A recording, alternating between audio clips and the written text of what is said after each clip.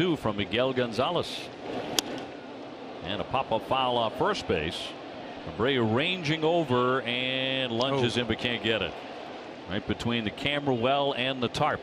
Awfully nice here. Picked up a piece of that camera and handed it back to the cameraman down there. Chatted with him. This is just good manners. You know, you knock Isn't something it? off the shelf and here you go. Sorry about that.